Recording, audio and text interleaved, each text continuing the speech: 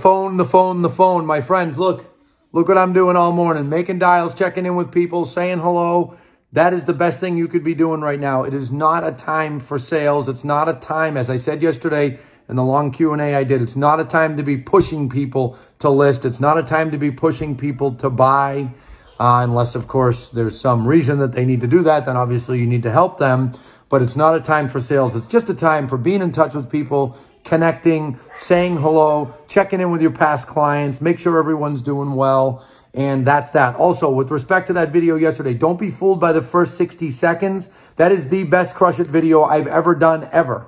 Okay, um, 45 minutes of solid content with uh, answering a bunch of questions that I got from a bunch of realtors across the country. So tune into that. Uh, make sure not to miss that. Just scroll down if you're watching on Facebook and send me more questions. Hope you're all well. Talk to you soon.